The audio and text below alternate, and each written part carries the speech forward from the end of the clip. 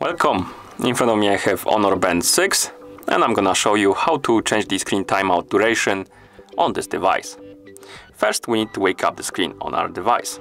To do it simply press the side button like this then swipe down from the top of the screen to open the quick panel and here tap on the settings icon. In settings tap on display. Here scroll down. Select the advanced. And we have a sleep option right here. Tap on it. And right here we can swipe up and down to scroll through the different uh, durations. We have 10 seconds uh, 15 seconds 20 seconds and auto.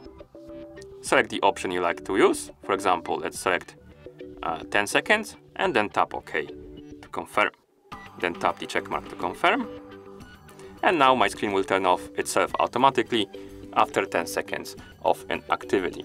So let's wait for a couple of seconds. And as you can see, it turned, turned itself off. And that's how you change the screen timeout duration on this device. Thank you for watching. If you found this video helpful, please consider subscribing to our channel and leaving the like on the video.